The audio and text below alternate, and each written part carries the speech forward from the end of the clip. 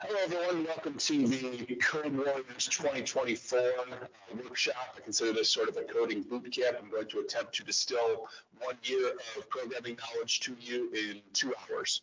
So uh, without further ado, here we go. My name is Adam. I teach computer programming and game design in the L'Anse Creuse district. Um, my hope is that uh, one day your young students here will take an interest in of those fields. I also teach AP computer science, and in a few years, I might see some of them they happen to be in the area there. Okay, so um, we are programming with online-python.com. Any Python compiler in general will work if you want to mess around with this at home, but this is the one that will be available at the actual events and the practice events. So this is the one I recommend getting comfortable with. Um, the overall format here is you can write your code and I'm kind of zoomed in so you can see everything on the screen here. And then um, down here, you can hit run and you can see what happens. I don't have any actual code here, and this is sort of the first and most important lesson of any programming language, and that's documentation. Um, comments is what they're called here. Uh, in Python, your comments are written with this little um, pound sign here, the hashtag symbol, as the young people might know. Anything you write after that in line is not code, it's just a note for yourself. So everything I've written here as an outline for myself is just comments. It's not code. The compiler which is the computer running the code, will not see it. Okay, um, so at the top, I'm giving myself a title here. So that's the most important lesson in, in programming is to write comments for yourself as an outline before you actually write the code. This helps you organize your thought process and it also serves as documentation for you after the fact. So if you need to look at your code later on, you can actually understand what you wrote. That's very helpful. Okay, so no matter what language you're, you're working in, um, I teach C Sharp and Java primarily, or Python or any other language, there's going to be some kind of a comment system, and that's the most important thing in all coding. If you don't remember anything else today, please remember that if you're ever looking at coding again. Okay, so I will put all my notes in comments here. Um, this is to help get organized and so you can see what's really important. If you're a particularly fast typist, you may want to get those along with me. If not, just follow along up here and then you can type the actual code. I'll do my best to leave it on the screen as long as I can before moving on. Again, one year into two hours, I may go a little briskly. Okay, so um, comments, uh, notes the compiler doesn't see. And on, they start with this thing down. Uh, it's after and go until the end of the. Writing an outline before coding is called pseudocode is really, really, really, really, really important. Okay, cool. So with that, I'll actually code in Python. The most basic statement you're going to see in Python is a print statement. Um, we'll have quite a few of these on the actual test day itself. That's simply the word print here without the little comment thing in front it, because this is actual code. And then um, um, something inside the parentheses here after the print. Okay. Um, so if I say print four, Will get something like that. In Python, unlike some other languages, there's no need to put anything at the end of the line to show that it's the end of the statement. C Sharp and Java, will have a semicolon there. In Python, not necessary. The line break is what tells Python, oh, that's the end of the statement here. Okay, so if I have just that much as my code here, and I go down to this and I click the run button, it'll show me my output here, which is four. Okay, congratulations, you've just written your first line of code. You are now an accomplished developer. Good work. Don't for yourselves, that's fine. Uh, okay, um, so that's for a number that doesn't require any extra code to make it work. Um, a more common uh, thing to print is a message of some sort. Those messages are called strings. Okay, so uh, a message in quotes is called string. We can put those in a print statement as well. So if I say, I write my quotes here, and then I say, um, I am a programmer, go like that. And then I go back down here, oops, I'm gonna go down here like so, and I run this, sure enough, I get back output like so. Okay, so those print statements are going to be the, the simplest kind of statements you're going to see. You'll see quite a few of them in your actual coding. All right. Your Comments, by the way, here can go in line. They don't have to have their own line. So if I take this and I just move it down here to the end of this line, that still works. So I will do that. This value. You can combine two different strings together um, using the plus operator. That's a word, fancy word called concatenation. It just means smashing two strings together. So if I say print um, putting two strings, then together, what's up? This is called concatenation, concatenation, got a lot of syllables. Smashing strings together. Yeah. No, I didn't. Mm, sure it would. Putting strings together, yeah. Yeah, Still close. Okay, so if I run that, I have that there. One thing to notice here, thank you, is that it literally prints the two next to each other. If you want a space in between them, down here in your sorry, I lost my that was weird. Um, if you want a space here, see how this relates to the code up here, you have to actually put a space in the quotes because it prints a literal message. Why is it doing that? Hmm, strange. I can't seem to highlight my video, which is kind of annoying. See how it's got the strings and together together there. If I want something different, then I need to put a space inside the quotes because the string is, is what we call literal. It's printing exactly what's in the quotes. So if I wanted to do better, I would put a space right there, let's say, and run it, and there we go. Okay, so that's your basic print statement. Um, you can also print a number smashed together with a string, but to do that, you have to put an str in front of the number for string. So, um, say, ding, um, let's see, print or you can concatenate, use that fancy word though. Concatenate a number with a string by using str and then the value inside the quotes. Same number.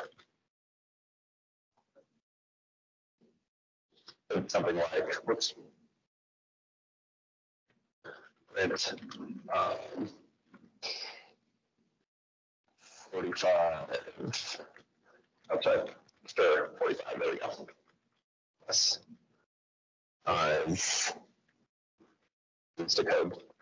I don't know what the forty-five is Instacode are, I know a few. What I get there is, that, just what you expect. You can't just put the forty-five by itself because I'm treating it like a string. Okay, in more technical terms, that's called casting, but you don't need to worry about that for right now.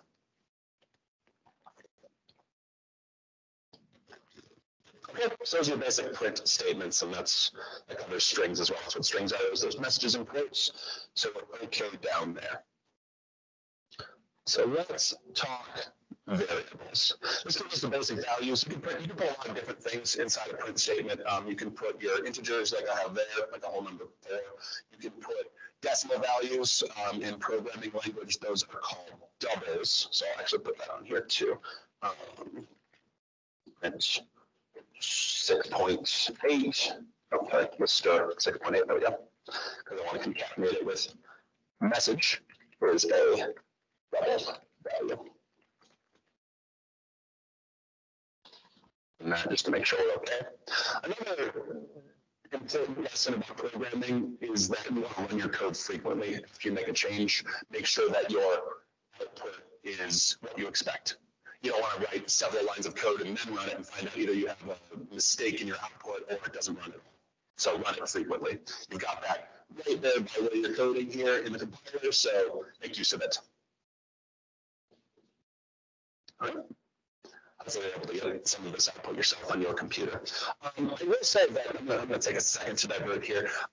Um, I used to be a math teacher, and the reason that we teach programming uh, at the high school level currently, and hopefully at more levels. Um, hope is every elementary school will introduce these concepts of programming pretty soon. Um, is that programming teaches a lot of the same concepts that math does. It, the reason we teach math is because we want students to understand logical thinking and communicating through symbols and that sort of thing. Um, the advantage that programming has over math, as I see it, having taught both, is threefold. Um, one, students tend to find programming a lot more interesting because it's a little bit more engaging to write something here and see the results. Two, everything you do in programming is what we call in teaching a manipulative, meaning you are changing something and seeing what happens here.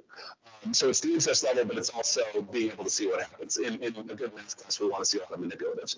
And then so uh, the way I like to say it is in a math problem on your paper, you can make a correction here, you can make a change, and then you have a slightly different piece of paper. You can make a change to your code here and actually see what the computer says. And then um, the third reason there is that you can take these programming skills and pretty directly make money with it, which, you know, once you're an adult, which people tend to enjoy. Question?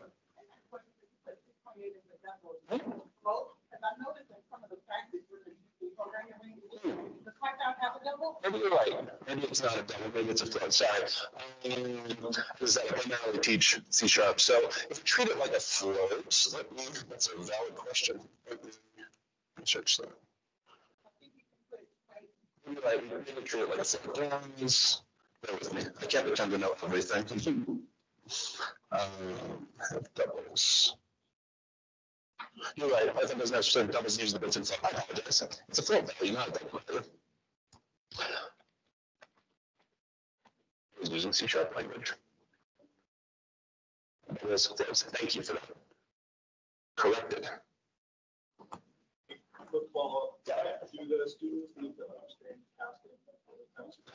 Um, Only insofar as they have the stir here, the string casting. Otherwise, I don't believe casting is covered in the scope of the rules here. So I don't have any questions explicitly about casting other than string casting, like so. Okay, great. So that's, I mean, pretty much shows strings here. So those are basic print statements. Pretty much what you need to know about those is covered there. Um, if you'd like to concatenate a number with a string, you use this, this stir method right here. Um, otherwise, you can just print it straight out and print a string by itself. Good. Moving on. Okay, um, the, the first sort of big principle of coding that makes it powerful is the use of variables. Um, variables here are pretty close to what you might remember from algebra class. The difference is in an algebra class, a variable has a specific set value, and you're looking to find that value most of the time or use that value, plug it in. Um, in coding, that value can change pretty frequently as you run through your code and get a new value. Okay, um, so think of a variable like a that's what I use.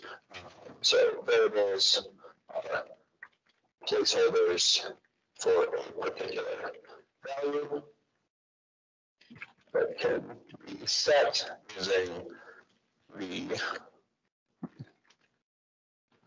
assignment operator, which is equals. I just won't end that sentence with a period, that's okay. So um, in Python, it's what we call a weakly typed language. C sharp and Java are strongly typed languages, meaning you have to specify what type a variable is. In Python, you don't have to do that. You can just use a name, say this X or whatever, a variable could be called just about anything that's not a keyword here, um, and say this is that thing's value. So I can say something like X equals 11, and now this there's the variable x with a value of 11.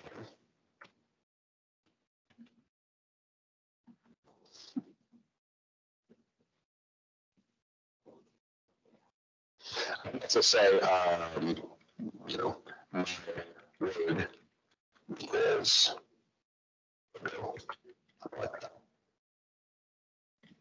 This variable with a value of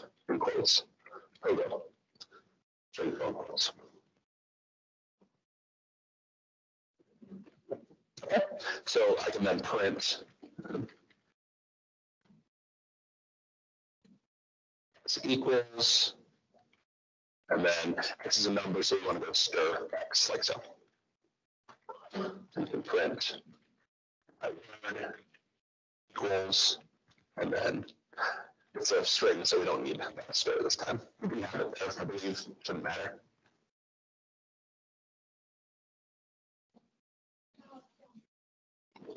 And so run that, we get X equals eleven, word equals program, like you would hopefully expect from seeing. You can reuse variables, so I can update the value of X once I've got it there. Um, I can even update it to a different type. It's just gonna use whatever type it is at the given moment, so. The types that we're working with on this test. Data types, data types.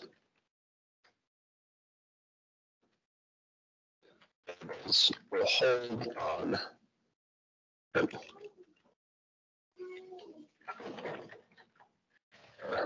Um, And it's not double.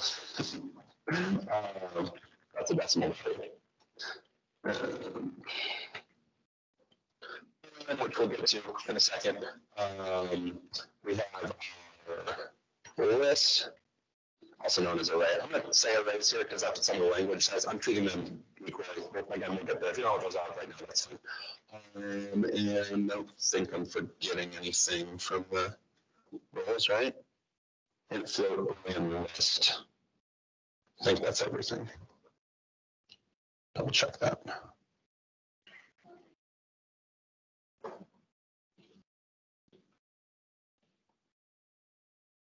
I think that would be all of it. Oh, and string, there, there you go, see, forgot one. Be all of them. Okay, so those are the data types that you want to know. Here we've already used int, that's an integer. Um, we've already used float, which is our double values there, and, uh, yeah, see, I'm still thinking about our decimal values, and then, um, string, which, uh, my word currently holds a string. Okay. So that's what a variable can hold for our purposes here, and any, any data that we're working with will be one of those things. Sure. You take a float and cast it to a ten, does that mount? It doesn't in C sharp, and I expect it doesn't in Java, in Python either, but let me double check to remind myself, just to answer your question here.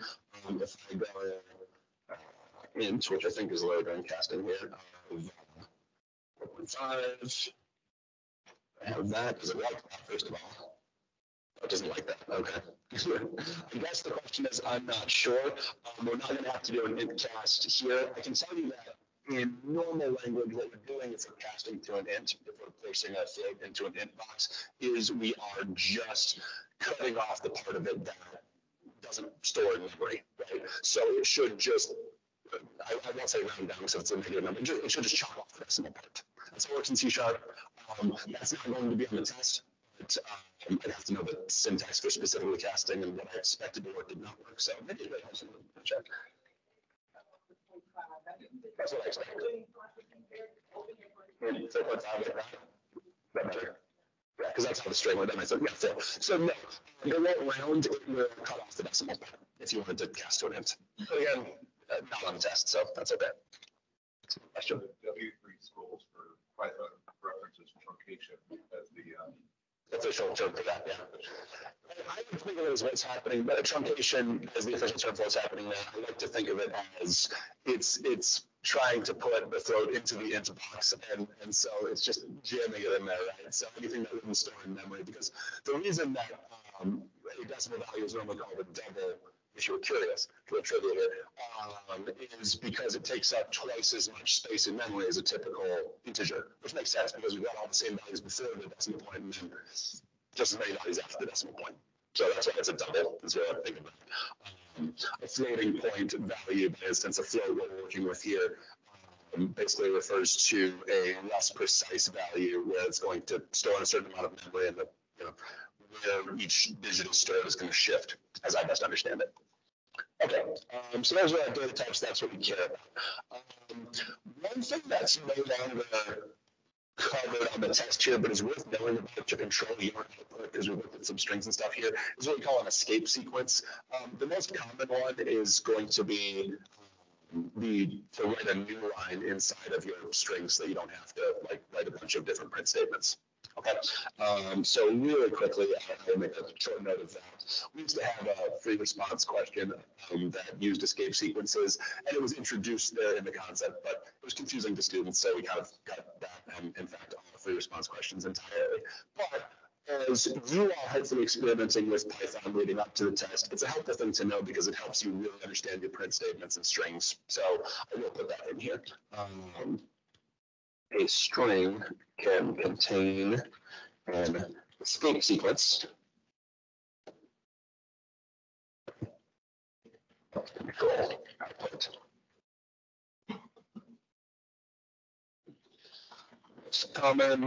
Uh, n, which is underline, uh, underline, wait, hold on.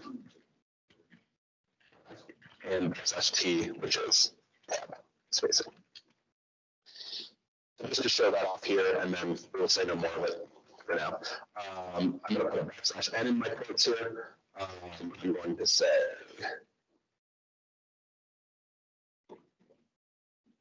Lines in a string. I'll put a backslash t or tab.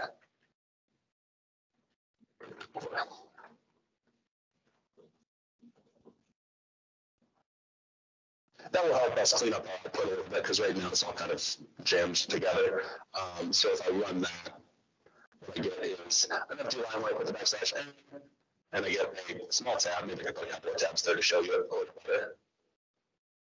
Put that. So anyway, you put that on a string, you'll notice on here it gets, well, maybe you can see it, it gets a special color for the escape sequence because that's considered one character collectively. Um, if you happen to put that in a string, backslash n or backslash t, it will have that related effect. Backslash n immediately goes to the next line, backslash t tabs it over. So if I run it again, kind of see what that looks like. I have an empty space here because I put the backslash n at the beginning of that string, and then I have the tabs because I put the backslash t's here. Okay, that's really the last thing about strings. That's it's uh, pretty much trivia for the sake of this test, but it's worth knowing as you're developing yourself. Okay, there are other escape sequences. I encourage you to look up a list of them. Some of them do some pretty interesting stuff, but those are the ones that commonly come up in controlling output. Okay, Ignite operators. So um, this is your basic. That's that was that was unit one of my uh, class, by the way. Um, this was how we do on Toy Boy. That's okay. It won't take the longest because I'm introducing programming. Um, this is your basic arithmetic, as you expect. It pretty much operates the way that um, you think it will. We've got our basic operators here, plus, minus, multiply, divide. You can use any numerical values together and it won't be a problem for you. So um, we will go ahead and say, let's start with the variable for good measure. So we'll say, um, I'll reuse x. We'll say x equals um, seven plus two, something like that. And then we'll print um, seven plus two equals, and then we'll do that stir. Put an escape sequence in the beginning of this just for consistency, put that backslash in there so we can get some space in our output, right?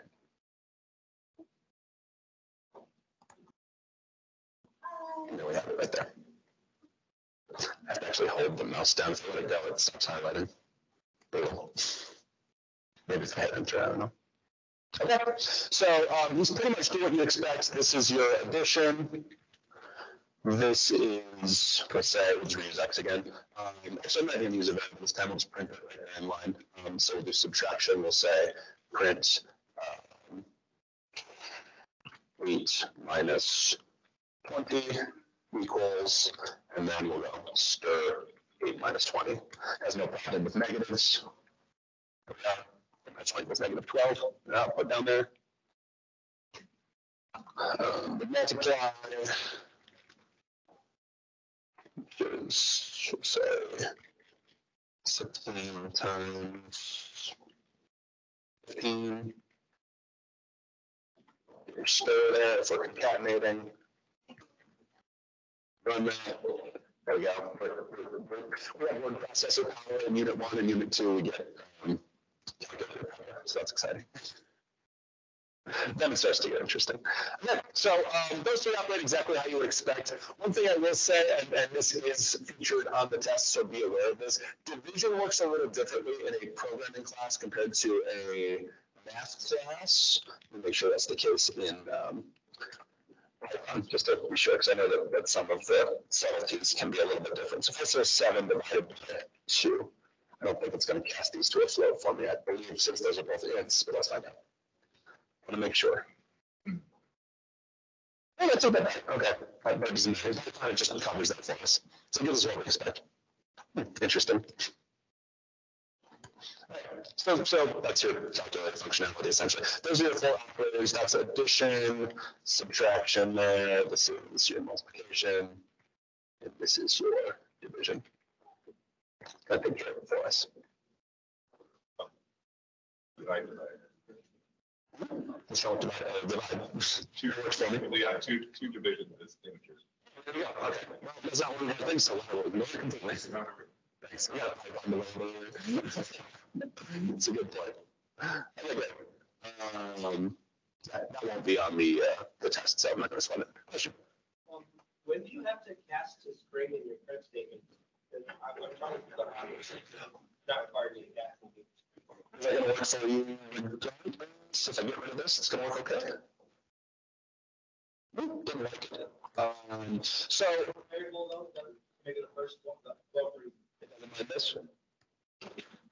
Doesn't like it to me. You have to take out the. Oops, oh, no, I'm not searching with this. I want the H.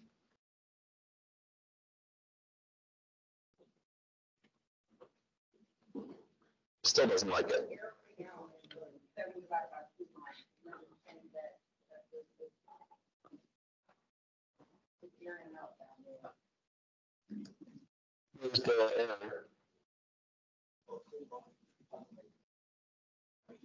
Yeah, I- still think you have to cast that because it's a, It's not a string. Plus, you have a plus X, comma.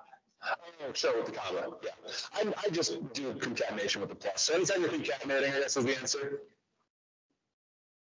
Your question, um, when do you have to pass to a string? When you're concatenating the string. Yeah. That's the way I always treat it, because I've always found it to be the simplest thing. Uh, It gives you more control over the output. If you want to mess around with print statements with your commas instead, um, then by all means.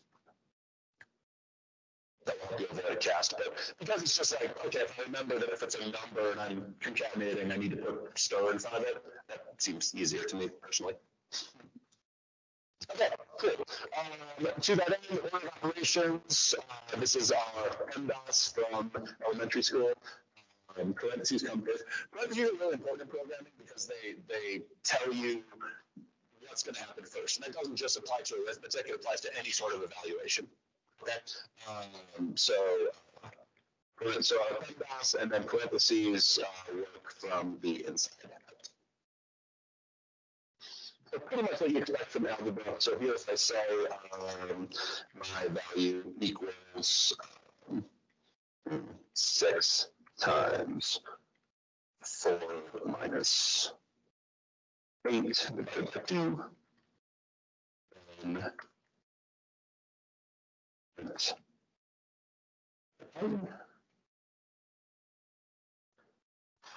Zero.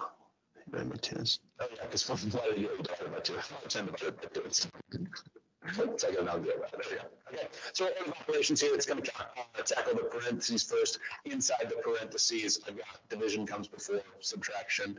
Um, so four minus five gives me negative one, then finally multiplying, giving me negative six. And it's printing as negative six point oh specifically because division gave me a float value, but that's fine. Students will have access to the compiler here, so if there are any questions on the multiple choice test during the test where it says, hey, what output did this give me? They are more than welcome and encouraged, in fact, to put that line into the compiler so they can see the result. I'll give them the right answer. Okay, uh, if your students are familiar with the, the PEMDAS abbreviation there, it'd be worthwhile to spend a little bit of time reviewing that. um, as they solve it. But at the same time, they also just punch stuff into the, ca- uh, the compiler, treat it like a calculator and get the result in months time too. It's really annoying. Question? This is gonna be a report, so we can look at it uh, after today. Yes, this will be recorded.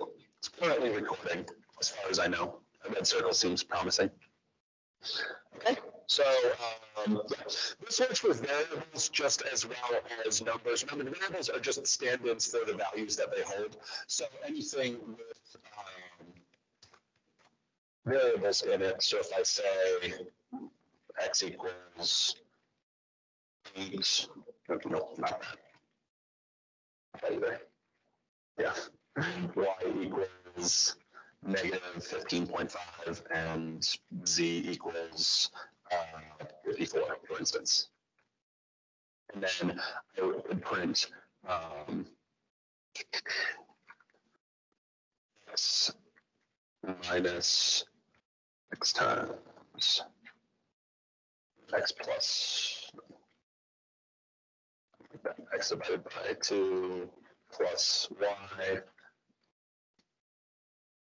times z, something like that. It'll give me a value. I don't have that value memorized. One, six hundred twenty-nine, obviously, as we know. Um, So you can treat these just like numbers. You can use them interchangeably as long as your variables hold numeric values. That would be answer floats. Generally, it's better to print things with context. Um, I'm not going to do that in the interest of time, but, um, you know, having say, math problem I was doing might be helpful, but you can refer to it here, that's, so, uh,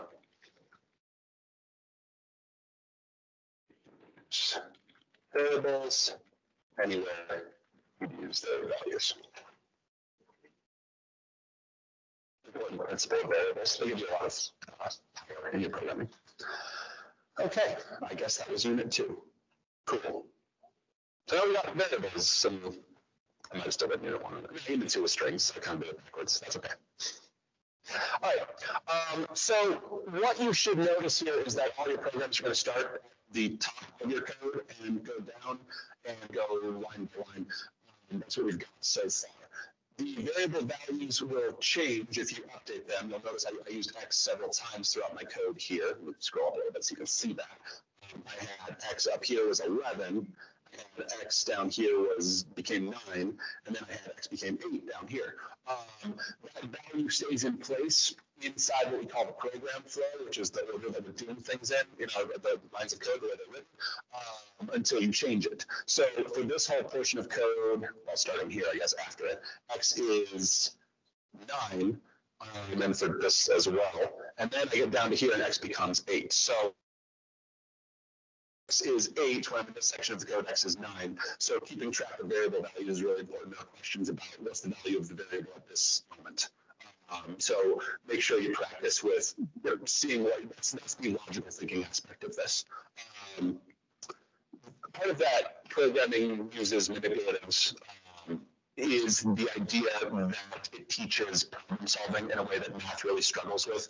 In, in math, you're going to learn a lot of really good logical thinking, and programming obviously covers that because we're tracking how to follow this step by step, right? In um, programming, and the reason that I think it probably eventually overtakes math in use education at some point um, in another 50 years or so, who knows? The, the wheels turn slowly. Um, this teaches the problem solving skills, the, the lateral thinking skills. Students tend to not love story problems. Um, but once they know the basics of programming, writing up a program to say, well, I'm here, how do I want to get to here? I have to write the steps and figure them out. Just seems to be a little more engaging for them in general, in my experience, but whatever that's worth. I'm qualified to say that because I'm a math teacher and a programming teacher. Okay, um, so everything we've done in terms of the program flow here has happened nice and orderly thus far. Um, starting down here with our conditional statements, we get to control the order a little bit differently. Um, so the first of those is this concept of Boolean values. The name of uh, George Boole was a pioneer in logical arithmetic and understanding, like making truth tables and things like that. Um, so he got to name the data type after himself that's, I mean, try and pioneer something, you can, you can name stuff. Scientists love to do that, mathematicians too, apparently. So um, these Boolean values uh, is just a fancy way of saying true or false. How can you copyright that? I will never, that's impressive. I'm sure they existed before then. So uh, value is true or uh, put in caps as important words in programming, it's false. As I said, boolean is one of the data types that we work with here with variables, so you can say like x equals true or x equals false, whatever. Using x a lot, but this is my keyword. I guess it's capital T true if I want the keyword. Print, I'm just bring that back and say x. It's a boolean with a value. Now. Value of, I think I still have to straight test this. Because a boolean is not a string, even though it says true. We have value of, I didn't like that, I didn't like that. Um?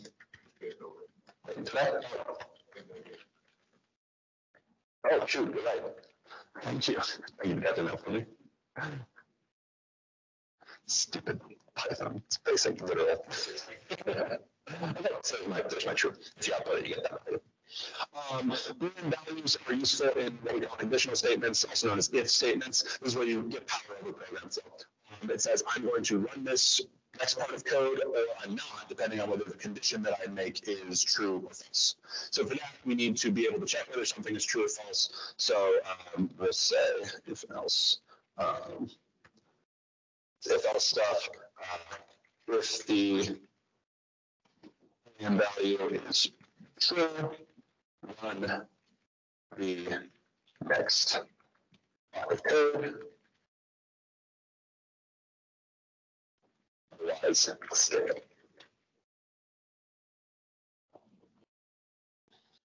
So here we would say, um, if, and here's how we write of code in Python.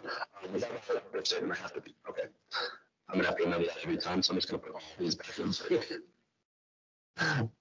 Okay, that way I won't tell over because um, we say if X, and then we put a colon here to show I'm talking about this stuff here. So uh, if X, say print uh, if statement.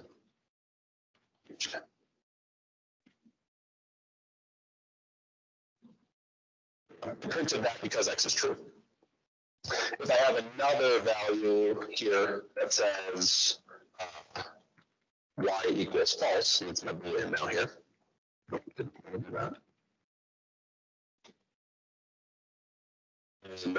Just say if y. is- Y is true. That, and we run that, and it's skipped entirely. So for the first time, a sort of controlled program flow here. It's not running that bit of code. Um, that block of code will continue as long as this is tabbed over, indented right here. Indentation matters in Python to my eternal consternation.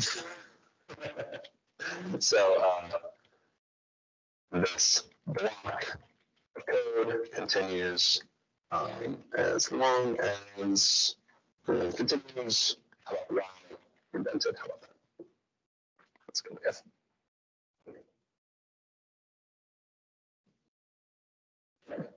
So my boolean values are my and falses. They're used in these if statements here.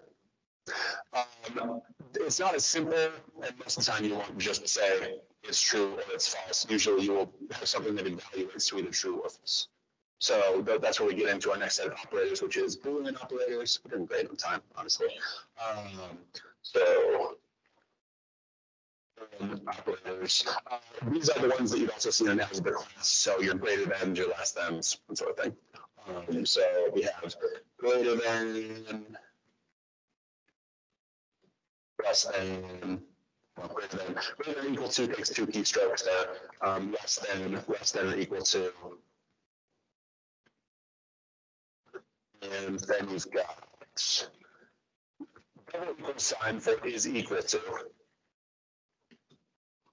Double equal sign, that's because we've already used the equals for signing a value, it works differently than a math class. So, um, value, uh, x equals x plus one is a valid statement in code, but a math teacher can't stand it at all, so. okay.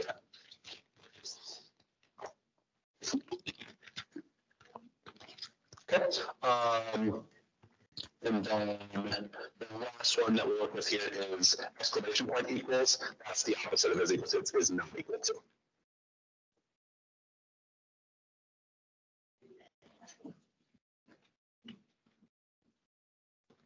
Let's compare to values and um, results in true or false.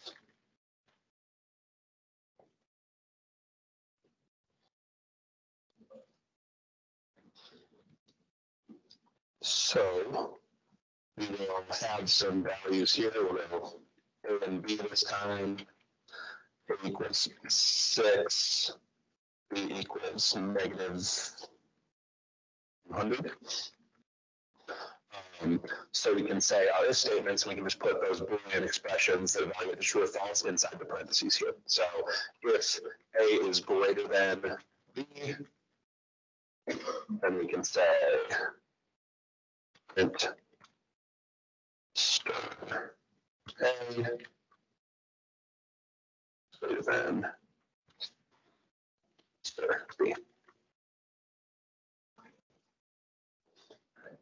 And we've got uh, one more keyword here, which is else. The else comes after an if every time. It's right after that line of code ends. And it's if the if statement didn't run, I'm gonna do this other thing. So else int uh, A is equal to star And then the notes here, um,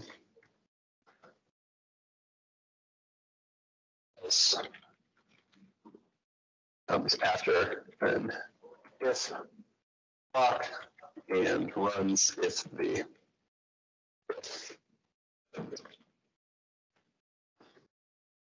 yes. So the else is sort of your contingency. If this doesn't run, then this runs. So we have here for output is the first one, because this is true, and six B is negative one hundred, and six is greater than negative one hundred, so we get this output and it skips the else.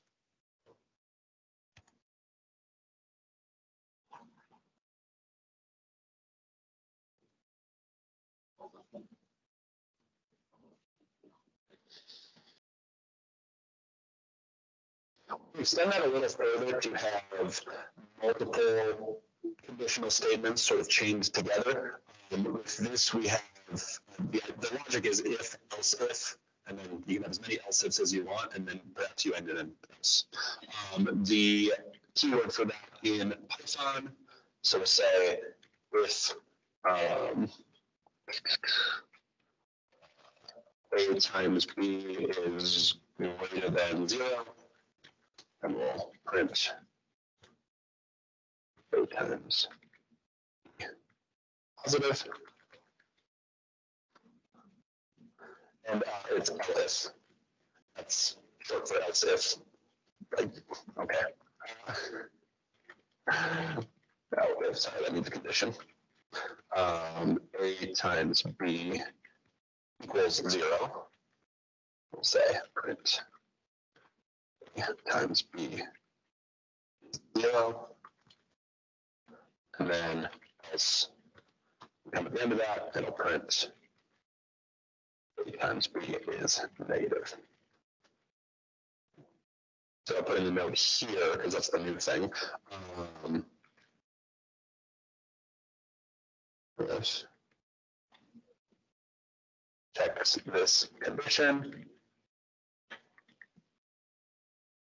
This.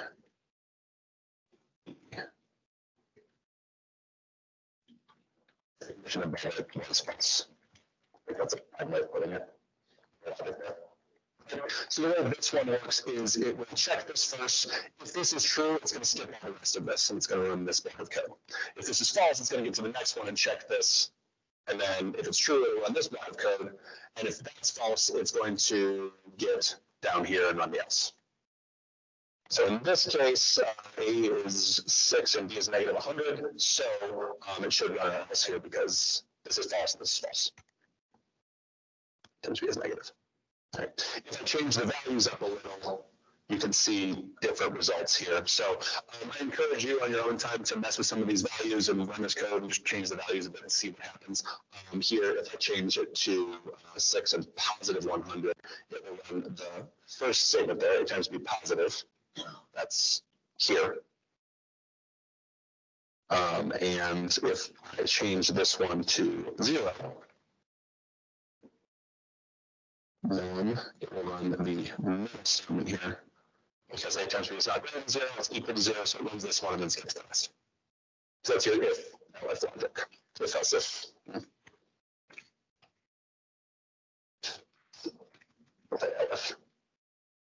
That's.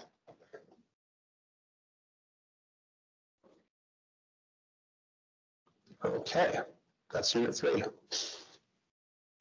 Ordinarily, I have my students do, you know, a bunch of programming assignments in between each lesson, it's tough to squeeze those into two hours.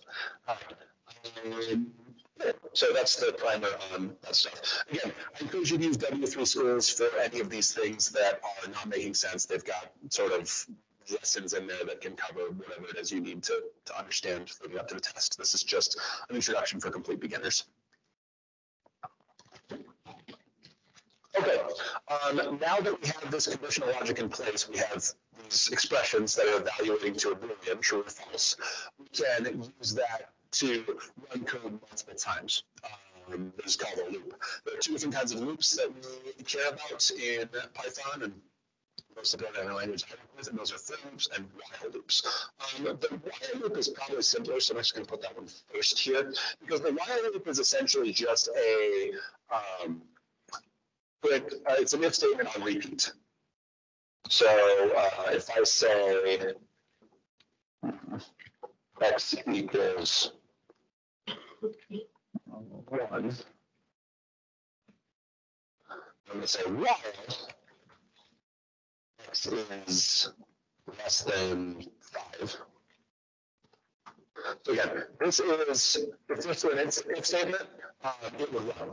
right? Um, But while x is less than five, we want to print uh, x. And then I want to make sure that x goes up. So x, uh, I say plus plus in Python, can I? Is it like that? No, it doesn't like that. Go figure. I mean, the increment operator in Python, it must be one, right? Plus equal. It's not an increment operator. That's Fine, x equals x plus one. I don't want to, I don't think we have it uh, as like assignment operators on the I scope. think it's either equal to plus or plus equal. I know this is okay. I think it is plus equal, like next week. Plus equal to the increment. Yeah, but I mean, that's not the increment operator, that's just as an assignment operator for addition. Like, yeah, I mean, x plus plus, that's, x plus plus is where it's at. I guess they don't use it in Python, it's sad. Sad. Um, arithmetic assignment operators are not in the scope of the test, so I won't go plus equals here. Um, It's you know, useful, certainly, but you can write this much, no problem.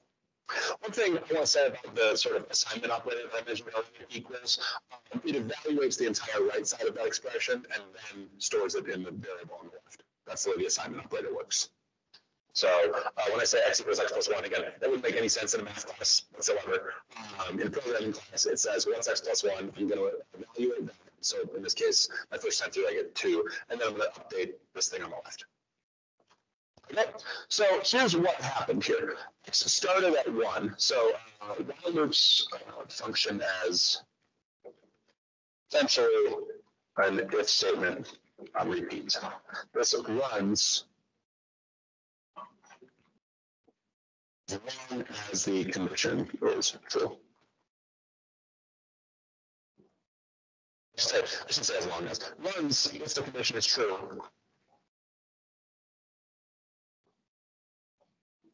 Then checks the condition again. In other words. Okay, that's why it's important in these uh, loops to change the value, give a way to reach that condition so it's eventually false. Otherwise, your loop is going to go infinite, and uh, that's not what anybody wants. So here, x is one, while x is less than five. It's true the first time. I'm printing x. There's my one in my out there. And then I'm adding one to x. So it goes X is one, then X is two, then X is three, then X is four. X becomes five, and then this is no longer true, so the loop is all finished. Okay, it's if statement that goes again and again and again.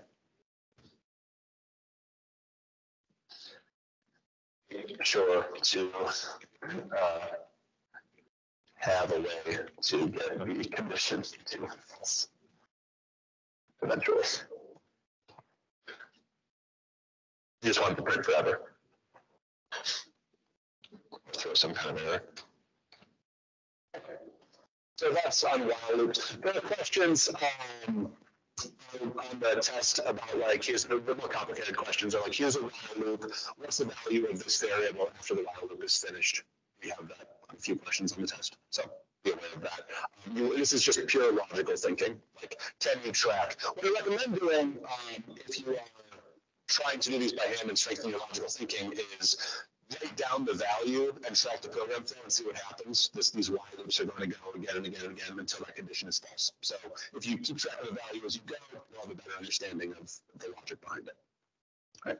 Otherwise, I suppose you can just put the code in with the compiler and see what the end result is, but you want to be able to understand it ideally. Okay, so that is your primer on while loops.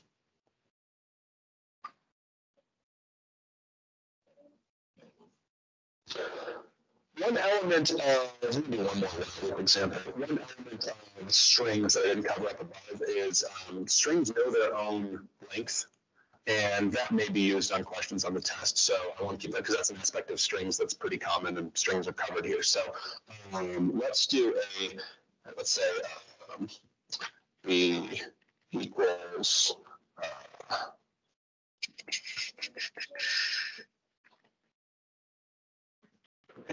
something like that. Okay, and we'll say while the len b, it's len b, right? Okay, Yeah, so, okay. Len b uh, is less than ten.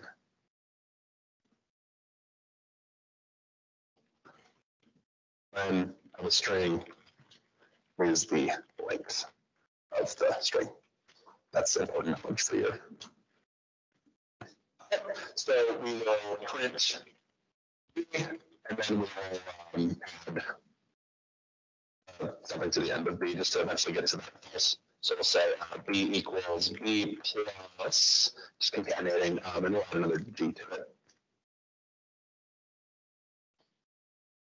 Okay, so while if the B is less than ten, we're gonna run this, we're gonna print B, which starts at coding in all caps, and then we're gonna add a G to the end of it. So if I run that, there's, that's an result.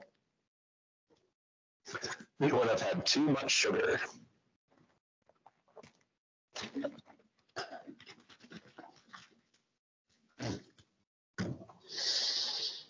Okay.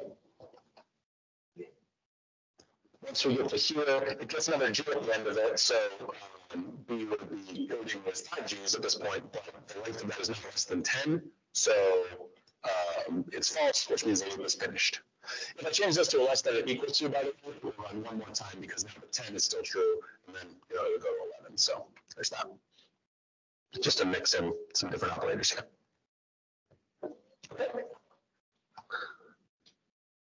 So that's your while loops. Again, if you think about like an if statement on repeat, you won't go too wrong. It just goes and goes and goes until that condition becomes false when it checks it. Right. Uh, For loops are made for counting. This is for going a certain amount of times. Um, so say, so the for loop is a counting loop. Nope, that's sticky keys. I don't, I hope I didn't turn them on. Oh, no, I may have. Can I turn it off? Hmm, I've had shift for too long. I'm gonna get a beep every.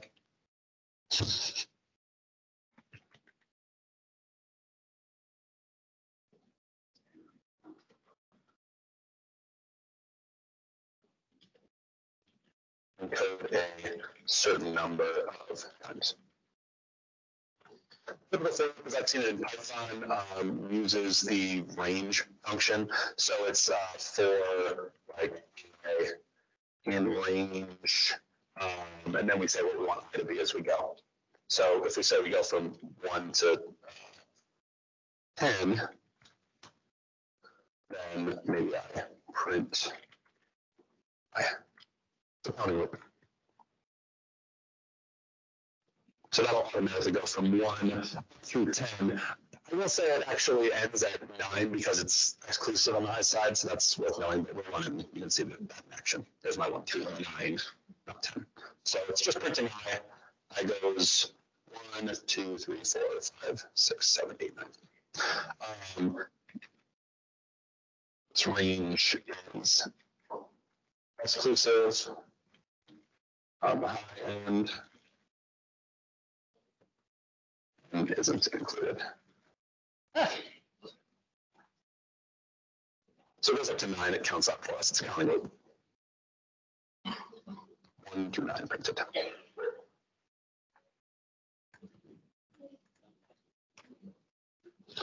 I'm gonna check my practice questions here because obviously there's a way to make it count by ones, but I don't know if that's included in the test off the top of my head, so.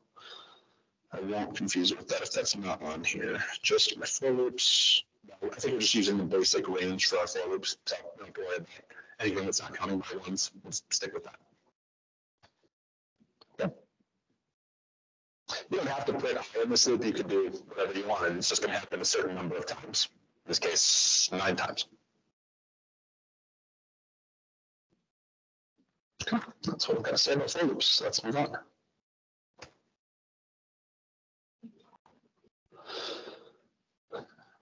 Oh, Not too far off. Good, wonderful.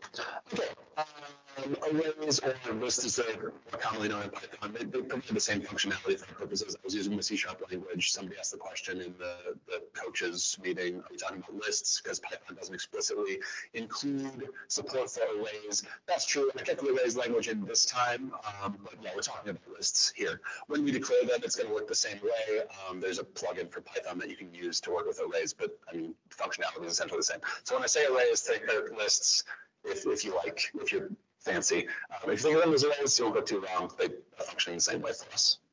Um, okay, so um, what is an array for our purposes? See, now I hate that I'm saying arrays. Oh, whatever. It says arrays on the test, so I'm gonna say arrays for today. And then maybe next year we'll change it to lists. Our Variables, our values can store those individual values that we had earlier, any int, float, string, boolean, or which one did I forget? Five of them. He's right on that. No extra credit for you guys. All I do is I just, ah, he's right there, isn't it? I Yeah, well, yeah, I could do a list of lists, but we're not doing two-dimensional lists. Okay. Um, You can store individual ints, floats, strings, booleans, any variables. You can store a series of data values of the same type, and that would be a list or an array. Okay, um, so, uh, an array is a collection. Array or list is a collection of values of the same type. They don't have to be the same type in Python, don't they? Yeah, just, no, they can be uh, different. never mind then, thank you. Values. That's what differentiates it. from Oh, really? Oh, I believe. Am I teaching that? Social hair and better knowledge. Yeah. Um, Okay, so uh, is a collection of values. I guess if they're an array, they have to be the same type. I believe you. I think that That's fine. It doesn't like, for our purposes all matter. I'm not gonna throw a list of different types of values. So for that reason, I can say that, um, the same as they good? Um, so if I say now my, I've been using X a lot. Um, let's say, um, my array equals, and then I just put what I want to go in it in square braces separated by commas. So, um, let's say Monday, Tuesday, Wednesday, storing uh, things here. Thursday. This is an array of, eh, I don't space. Declaring an array of strings with square braces, that's these guys. uh, Separated by commas. That's my syntax there. Okay, so now I have an array of five strings, Monday through Friday.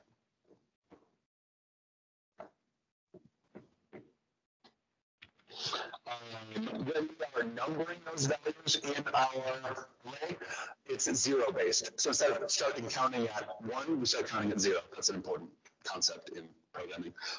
Um, There are very good reasons for that. That's what I'd say about it.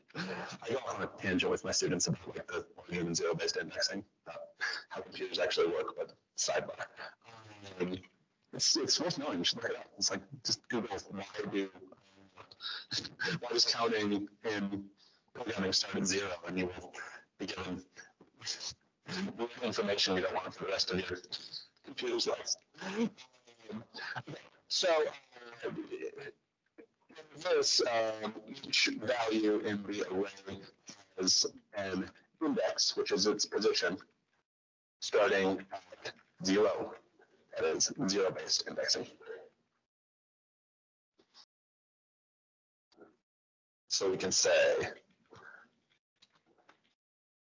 we can print the whole array, I believe, and it will give us, that's what we stored there. I think Python can handle that. Let's find out. Yeah, just the array as I have it there. Or we can print individual values from the array. So we'll say uh, print um, the third value is, and then we'll say my array at index two. That's indexing with square braces. Okay, so that's how you can access an individual value in your at position by index. The third value is Wednesday. So these are zero, one, two, three, four. Do we still get the runtime exception if we try to index out of bounds? We do, right? Surely. Okay, good. I think you can see that error list out of it. Development out of it. If I tried to say five, something, no, there's five values. This is fifth value. That's not correct, is it? Right? The fifth value is position four. There is no position five, so I try to do that. It crashes my program. Even though it's not a syntax error, it is a runtime error. So just be aware of it. Index out of range. There you go.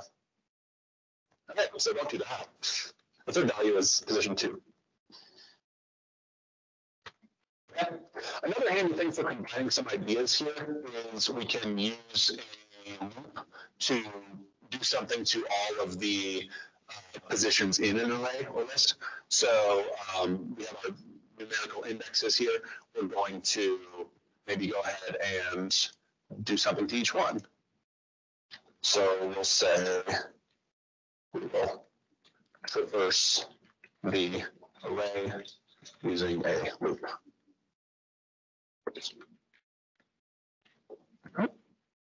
Say for i in range. And the range for this starts at zero. And then it is exclusive of the high side, so you can automatically know the last valid position in any list by saying the length of this minus one. When my array. Yeah. So, uh, and your array, here's the length of the array, just like a string.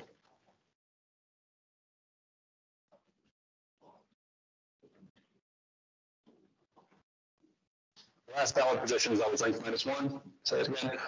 Um, so this will go from zero to four in this case. Because this is exclusive on my side, that's a loop, ranges. So we will uh, say array at index. array. And because we like weekends, we're gonna change them both to Saturday.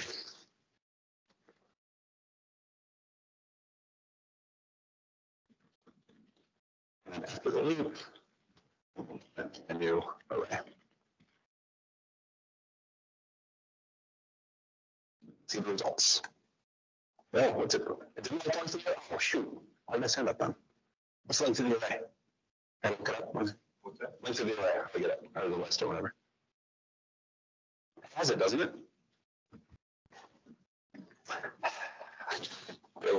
This. Mm, I can't cast the, I don't want the length of Indiana strings on the length of the list itself. Hold on, look at it. It's gotta be in there. length of a list Python. That's exactly how I put it. Hmm. Yeah, where is it? Where did I- did I- Um, zero. Oh, you have to close one more time before. Okay, there. Where's my error? D minus one on it. No, it's not about a bounds thing. This is exclusive on the high side, so I wanted to go from zero to four, the length is five, so that That's bit's big four, the parentheses. There. I think you- the, the outermost parentheses are unnecessary. But that closes my, my loop header, This support would need that. I don't think it does. doesn't it? No. I had it up above. Oh, no, you.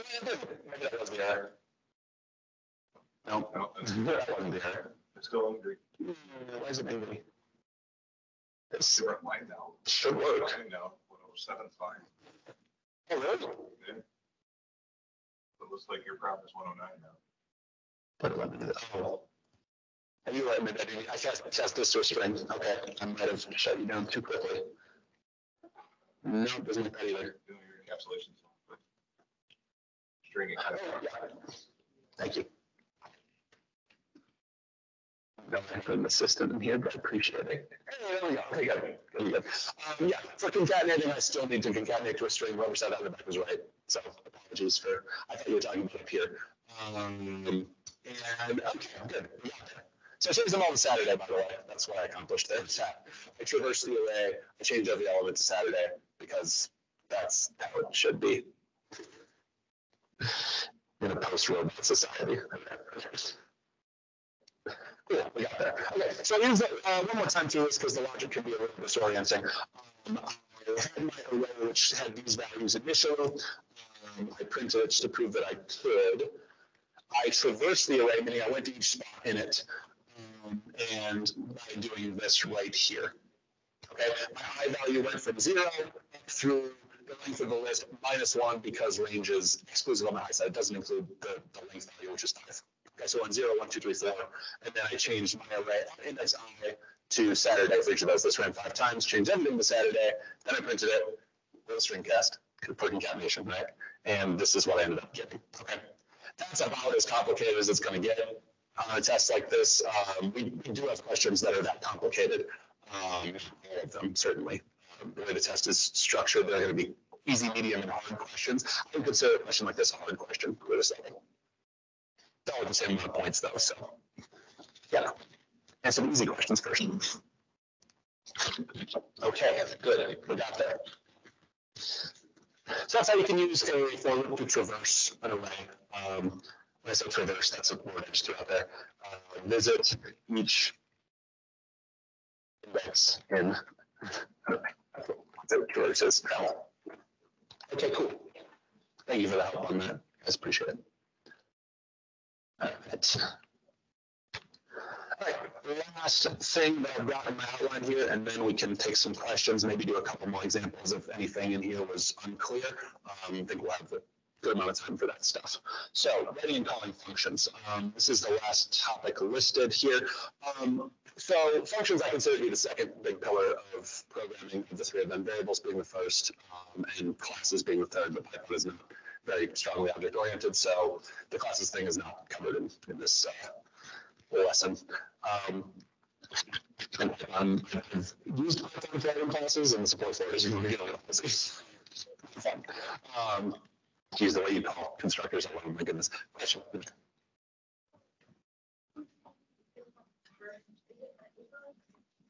So the paper test um, on the day of, I believe we're looking at 30 questions for that thing.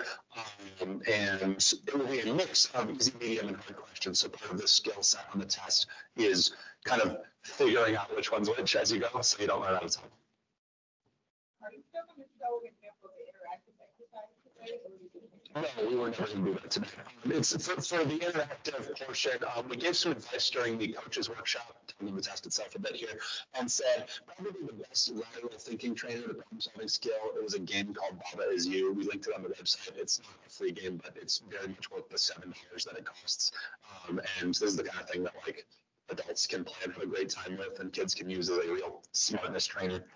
Um, so definitely recommend that one. It's not identical to what we did in the interactive program. Um, but the best way to be prepared for that one is to come to one of the practice exams because we have a practice version of it that only kids who come to the practice event will be able to see. Right. That said, um, there are things on there that will be very uh, obvious to students on how to do no. We did away with the free response portion of the event. This is more, it's closer to a game than a, um, a test. That part of it is good questions. Okay. Yes. So when you refer to the practice event, is that the one coming up here in March? Um, I'm not sure about all the dates off the top of my head. Might be like the second, like the Chippewa Valley. I'll be in attendance at most of those, if not all of them, of the practice events. Okay. Last topic here, functions. Um, So for our functions here, you can think of it as you writing a block of code that can be called at any time from normal program flow. It's not going to run on its own unless you use its name to say, hey, run this code. Okay, so um, here's my working definition. A function is a block of code that can be called to run using its name. This is separate from a normal program flow. Um, We can from wherever. Okay, uh, we define a function using ds, def keyword. Um, we give a function a name, so the standard in Python, lowercase, first letter, yeah, okay. C sharp has me, uh, capital letters for methods, or just general? It's, I'm sure it's not necessary, but again, Python is just so forgiving of syntax, you know, generally. Um, I define my method. So we have this, it's a block of code like the stuff that we have up above with these verbs. Uh, This is called a header, by the way. This is a method header that goes at the top. Um, we've had headers before for our for loops. Anything that goes with a colon at the end of it is considered a header. For if statements, we had headers, while loops. Okay, this is our method header. Um, I'll put that in the notes up here. Uh, This, any, anything in a loop here, any, this is a loop. There we call it at the end of it, it's gonna be a header for our purposes. I think I can generally say that. Okay. Um, We'll just print, so we'll keep it a very simple method. We'll print, uh, my method it was called. Like that. You can put a backslash n at the beginning of it, just to remind you that I think it's swim line. So if I run this normally, um, it does not run. I've got my same output as before. However, now that I have something called my method, I can call it up here in my normal program flow. I can just say my method, like so, and I am calling call the separate method. And then it's gonna run that thing for us. My call.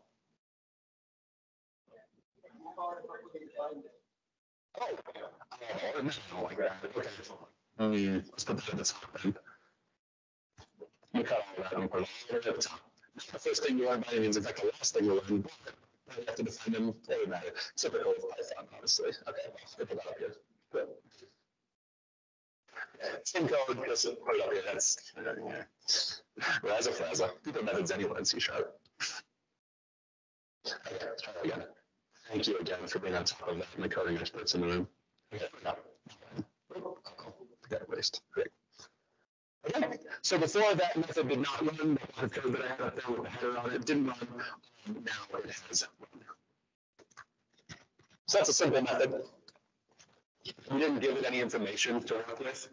Um, An advantage of methods, other than getting a block of code to run whenever you want it to, and that includes like inside a loop, for instance, so we can get it run a bunch of times, um, is that you can pass it information. We can set it up to receive some information, um, which is called an argument, the information we send it.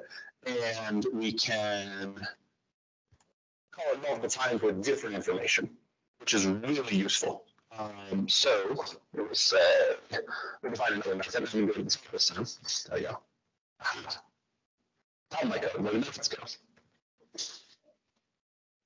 define, um, really have method called.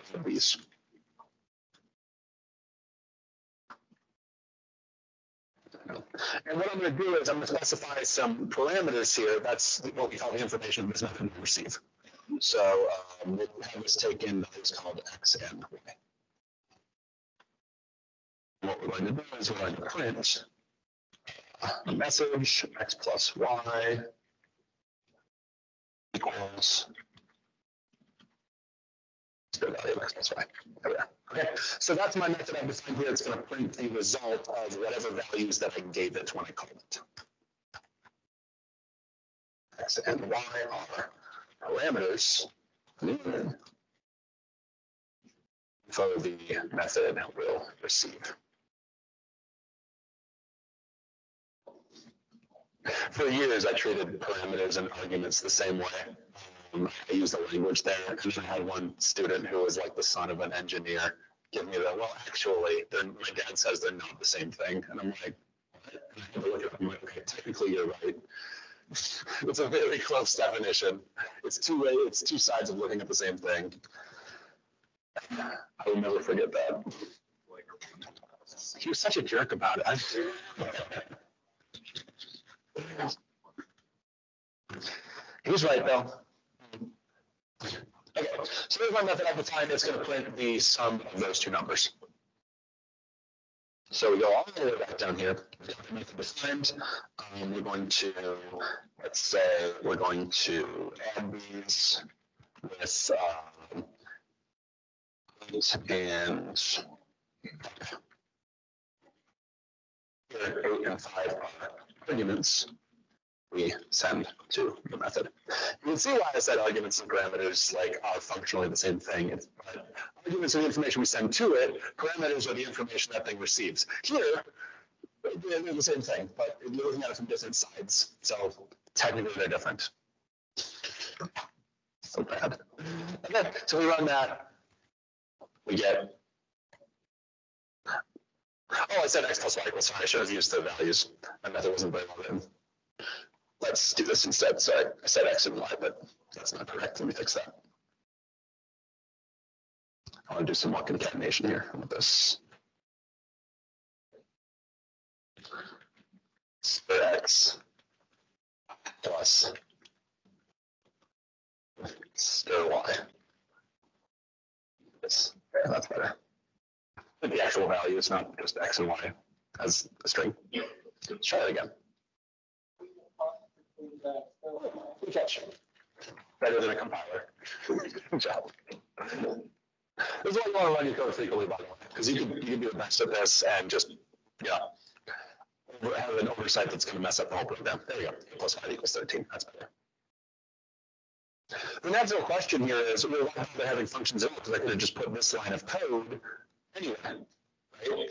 Um, consider that this method can do as many things as I want it to do. It's a block of code. It can be as long as you want it to be. And I can call it somewhere other, giving it different values. So um, down here, say, we can run it again with, um, with some variables this time. Say x equals uh, 10, let's say y equals 11, and we'll add these with x and y this time. The method works again with these different values. So use your imagination here a little bit and consider that the method could have been very complicated and use those values. And I don't have to write all the code again. I write it once, I give it different information, it does what I need it to do. Methods are really powerful. Sorry, I said methods. I said, uh, I should call functions uh, methods and functions. I think I can interchangeably use those words. So, sorry. I shouldn't have said method. Me change this. Me change method to function every time. No, that's badly spelled. Um, function my function, the function, there we go, we sent to the function. I'm ready to change the name of the function. Sorry. C sharp keeping in again. The advantage of Python is it- it's probably among the easiest languages to learn, and it's also the most popular language these days. It's overtaken the others um, in business, as far as I understand. Um, the downside of it is if you're a programmer, some of the changes to the language and syntax that make it so slippery are very annoying. Very nice for new program. Yeah, yeah. That's why we use it here. It'd be, it'd be harder to learn C sharp as a first language, I think. Last one, my function, function. There there we go. I think I called it. Oh, no, Better. Okay, cool. So we got it. There we go. My function was cool. My method. There another name for functions, by the way? Okay, so you can define whatever functions you wanted up top, and then you can call them with any information. As long as you call this and send it the two pieces of information it needs, then you are good.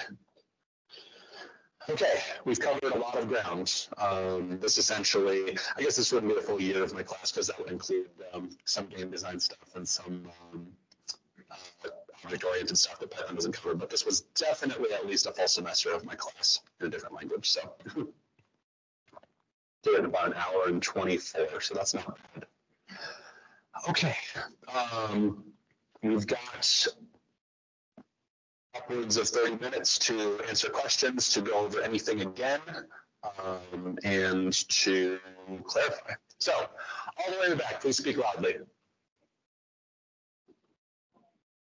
Uh, The question was, what's the difference between a method and a function? Um, I would say they're the same thing. Can, can someone refute me on that? It's just another word for the same syn- synonymous. Okay, good. Methods are functions. It's the same thing. The language on the test should all say functions. Okay? Sorry. In some languages, they prefer the, in programming, you have a lot of different languages, right? And those different languages, programmers can be very particular people, and a lot of the time they will use different names to mean the same thing, but they prefer it for their language. So for instance, I teach C sharp and Java. Those languages are 85 to 90% the same thing, right? But there are just a couple little differences that are really annoying when I'm trying to teach Java. Um, so, so just, um, you'll see multiple words that mean the same thing. One of them, if you're talking about classes, you have uh, attributes versus properties. They mean the same thing, but one language uses one, one language uses the other. Here, methods versus functions, same thing. Okay, good question. Question here. Maybe. Technical thing you could say. Yes. Methods would be described as a function within its class. I think that, We we write static methods and those, yeah, no, I mean, if you're looking at like the Python WC three or W three tool, I think they might define methods as functions within classes. outside of classes. I mean, you just wrote a function from the main loop essentially. It's implied to be one like main class, right? But if you're looking at like, And that is done if some other classes. I don't- you looked at what a method was, they might say that it's a, a function that goes within a class. I will still say I was correct to say methods and functions are the same, because that's very technical. That's not as bad as, as parameters versus arguments. Those actually are different things, just very subtle differences, you know? This, I can't, I can't find it. No, If you're looking at it, That's fair. for what it says, it might return that it's part of a value. Talk to this guy afterwards if you really want to know. Okay, um, what else did we want covered more? I can do more examples. I can answer questions. Okay. like to know more about tuples. Tuples, um, that's not covered in the scope of this. Um, We're just using lists, which are arrays. Again, for all purposes, functionally the same. Here. when you're running, running, like, you got hundred plus lines of code, is it running everything in there, or does it start at a certain point, or can you specify, I want to really run this? The question was, if we're running our code, does it run everything or does it start at a certain point? The answer in general is it runs everything. We control program flow a bit with our if statements, with our loops and with our methods. Um, but it's going to start at the top of the regular code here. That's not part of a method that we wrote. Um, this would be our main method functionally, right? Um, this is, so it's going to start right here and it's going to go until the program ends. Some of the code is going to be skipped because of our if statements. When we have a boolean value returning false, um, it's going to not run this because it sees that this header is false. So this doesn't get run, but generally it goes top to bottom um, unless we use the program. Good question. Question. Uh, Is this, or can you make this code or text available? Yes, um, I'm going to save this to a flash drive and make sure it's emailed to uh, the head honcho and we'll get it up on the website as a resource to go with the video. Yes. So, um, kind of, I feel like a little bit of an embarrassing question, but will, will the students have access to the internet and are they, are- you know, the way that I program is I Google how to do text. Specifically, they'll only have access to the compiler and they will have access to the sheet of notes that they bring in with them. They will not have full Google capabilities to say, how can I solve this problem? Um, so they have to have some knowledge coming in. Um, that said, unlike previous years, they don't actually have to do any coding in this event anymore. Um, They could get by without using the compiler if they can logically track the code in their, in their heads and say, okay, this does this. The question is, what is the output or what's the value after this? I know it. They don't have to touch the compiler. Um, in previous years, we had the free response portion, which I teach AP computer science, and it was sort of modeled when I was setting this up a few years ago after the APCS exam that has a free response portion and multiple choice portion. Um, that free response portion is them writing code by hand with without external support. So it's like, well, have lower level questions and do that same concept to set students up for maybe that kind of a future. Um, it was too much for them. Uh, it was, it was, uh, even when I made questions, have relatively, even if the first part of the question was like, print this value, students didn't even read the whole thing to get to that point. So we dumped that, and, and part of the reason I was able to do that, and credit to young man Benny LeBen McDonald, who's probably the best student I've ever had. Hopefully he doesn't watch this and get a big head about it, but um, he uh, worked with me to develop the interactive coding challenge as I sort of like laid it out for him to say, okay, we want something a little more dynamic in this event. Um, and then we sort of field tested it in last year's event. It was 20% of the test back then. Um, and it went great. Students loved getting their hands on it and they really understood. And there was enough challenge in it to say, okay, we can do some of these easy questions, but um, we're not going to be able to do everything on here. And that's exactly what. And so we use that this year to cut out the response portion entirely, adding more multiple choice questions, and it's 50-50 now. Right, that's question. Um, Any of the tests that you can access online, you're just looking around, We'll have a response and then multiple choice of this code won't work. How much do we rely on that in this test for the children? Um, it may come up in the test here. I recommend using the compiler if they're not sure, um, because again, they'll have access to it. Have we used There'll be a few questions like that, but just a uh, where, where that's the answer, but uh, we may have uh, this code won't work in one of the questions if, Yeah, but I was gonna as a choice, as a possible choice. question pools that you can access will have that many times this code won't work. Yeah, we might have it in there. Um, It's not going to be in every question, um, but it could be in quite a few of them. We want them to have a good understanding of at least recognizing the syntax and when it's inappropriate. Yes, question. Um, Learning resources, Academy is now in play. Uh, Not even a free trial anymore? Like, if I'm like, why not? Um, Check out the one lessons. If it's, free trial to do, it's like a week. trial. yeah, I think that's a very worthy week spent. um, on A free Codecademy. W3 Schools is a good free one. Um, Khan Academy has always been pretty reliable for any topic. Um, I'm not certain they have a Python course, but I'm guessing they do. And they have a bunch of free videos on YouTube. So uh, that's K H A M, I believe, Khan Academy. It's a fine resource there. What else? Questions about the test day itself, any procedures, or any of the content that we have there, something you'd like to see another example? I've got so another half an hour if we want to use it. Question, doesn't is it,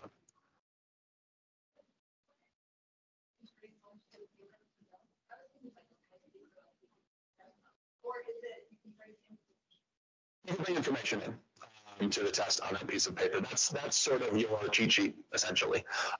Um, If, if you wanted to, in small font, print all the code that I've written here on a piece of paper that is totally in bounds as a reference guide, right? Um, You don't put an overwhelming amount of information on the paper for the students, but um, you can if you like, if they're really steel-minded. What else? Let's take a quick look. If if you all don't have any other questions for me, let's take a quick look at the practice questions from before. I know I've covered all of the topics here, but maybe I can um, find something in the practice questions that shows me some topic we could say more about. Maybe a more complicated one. Practice questions. Okay. Example part one questions from the website. These are all relatively simple, actually. Number five is pretty good. Um, we'll do another while loop example here. Um, ooh, did I? Maybe there's one more thing to cover. I didn't do return statements. Okay, let's get that in there because that is part of function definition. So one more topic here. Um, let me write one more function. Um, um, let's say double this. Have it have number as the argument. This time, instead of printing the value, what we're going to do is we're going to send the information back to whatever called it. Okay, so uh, we do that using a return statement. So return here is a keyword that sends information back. We get the information through that parameter, right? Um, or argument, if we call it, when we call it. That's how the, the method, the function, the method gets information. Um, it can send back information with a return statement. So return, um, return is number times two. So return sends information back to the caller. There we go. Glad I looked at that. Okay, so fairly simple. Again, this parameter here is how we receive information in this function. This return statement is how we give information. All right, so if we go all the way down to the bottom here, and we will run double this. Double this by itself doesn't print anything, right? So if we want to print something, we need to use the value that comes back. So the method and store the return value. Go over here. It'll say um, result equals this um, and double. Print result. So we called double this, we sent it eight as the value. It sent us back, hopefully sixteen. And uh, we stored that in the result variable, and we're printing result. I'll put this in my, uh, here too, because context is good. Uh. Result is there. My uh, translation on again. I know, I caught this time.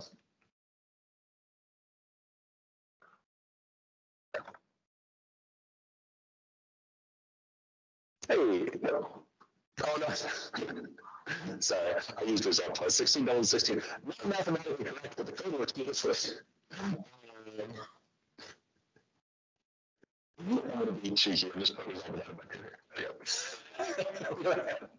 Amazing.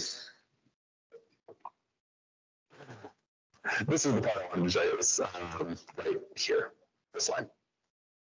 If you can follow the logic of that line, we did about three different things there, right? Um, we call the method with an argument. That method then ran and gave us back something, and then we used that something, which this evaluates to, and we stored it in a variable. Then we printed it down here. Okay, so that's return value. That was the last topic I needed to cover there. Almost forgot. Truthfully, I don't think the, the question that would use something like this is ever going to get more complicated than just like what value would this return. There might be a higher level question of like using that return value down in your logic below and saying like, okay, if I, if I have x equals result times four or something like that, what's the value of x?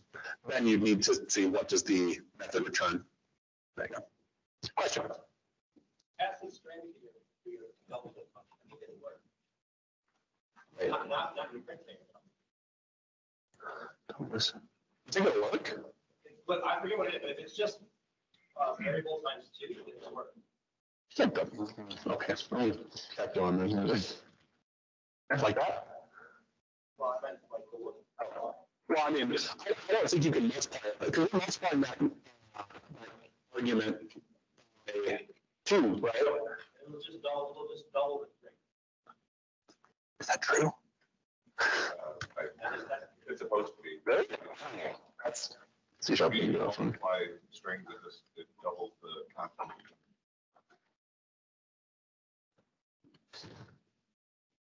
I did a division here, which I didn't like, that's, that's why I didn't like that, right? Um, so, Yeah, it's, it's line one thirty-two. Yeah, I'm- I'm comment that out for now. okay, well, And then you can. I'll just print it separately, yeah, it's fine. Trivia for me.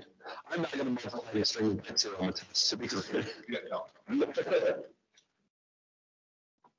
It is, yeah, sure enough, hey, good God. That's super dumb, but I like that you you got it there. Multiply a string, okay. I'm- can't divide a string, it should, uh, why doesn't this work then? It should work. You should cut it in half, no, no such luck, okay? I'm, I'm gonna pretend I never did. So While we're on trivia, you can also. Oh, no. You can, add- you can access the last whole number you array by that putting negative one. And You can access the second to last by putting negative two. What if there's five elements in there and put negative six? It probably goes out of bounds, right? So, so, so, yeah, okay. The, the statement for, for those people listening to the recording was that you can access the elements in uh, an array or list in our case by, with, with negative indexing and it starts at the end. So you said you think that the, the last index is negative one?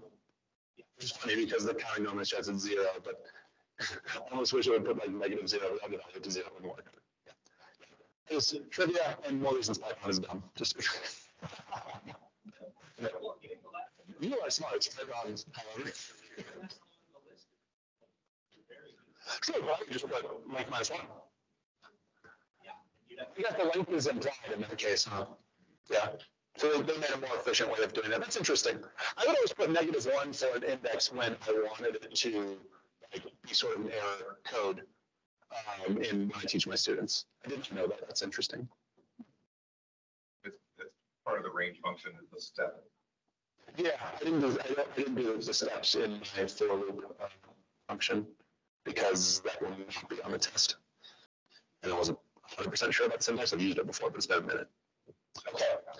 I said I was gonna do another example, maybe something with slightly more complicated logic. So let's do that. I just remembered about the return thing. So um, let's do a hard uh, while loop question.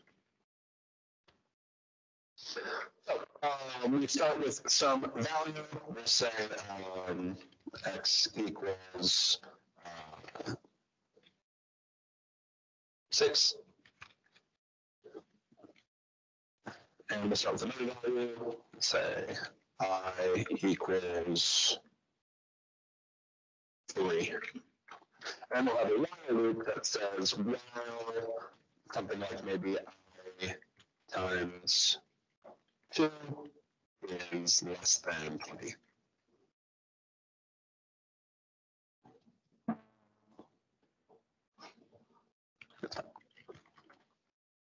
Just tracking some slightly more complicated logic here, as I'm looking at doing this example. Um, so what we'll do is we'll change the value of x, we'll change the value of y, and then the question is what will x be when this is open? That's a pretty typical question. Um, so if I say uh, x uh, equals x plus 4, and then i equals i times 2.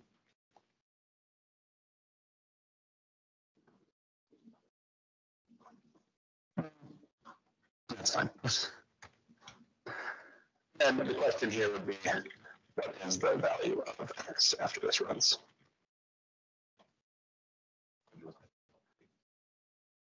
Hmm? Yeah, so uh, as a, as a student, if you can track through that, I would consider this to be a hard difficulty question. You need to be able to say what's going on with the loop, how many times does this run? Obviously, you could just type it into the compiler, but it's gonna maybe cost you some time and maybe make you not as much of an expert at it. I would practice a question like this before you actually lead up to the, the day of the test. Do that. So um, just talking you through this logic a little bit here, and then we'll confirm with Empower that we're okay. Um, I starts with a value of three. Um, so the first time I check the condition here, I times two is six, so that's less than twenty, so it does run the first time. Um, so x equals x plus four, so now x has a value of ten. Then i equals i times two, so now i has a value of six. It's really helpful when you're doing these to sort of write down and track what the values are. So uh, current x value would be, and I'll just change it as I go. Um, current value would be. So um, it started at six. So six, now if ask this the first time it becomes ten, and then I becomes six. Um, so now that is at ten, so we check the condition again. I times two is less than twenty. I has a value of six, I times two is twelve, that's less than twenty, so it runs again. This gives you the idea of kind of how this while loop works as we talk through it. Um, so x equals x plus four, so this now becomes thirteen.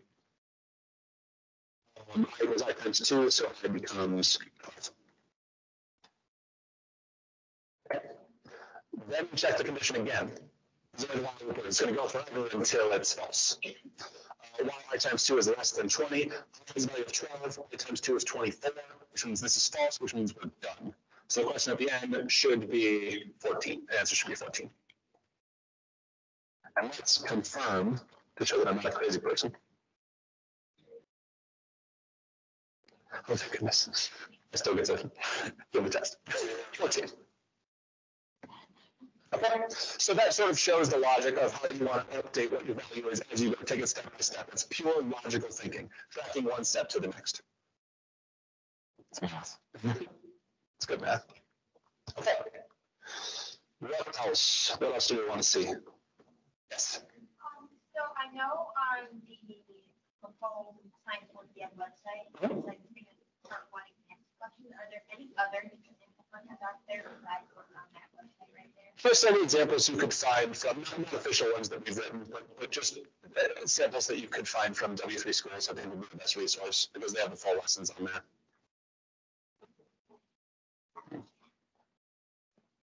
So I'm in the process of writing this year's multiple choice questions. We're we're revamping it because we're going from 20 to 40 and I just want to completely write about everything. Um, and so we may offer the previous tests, multiple choice questions as examples now.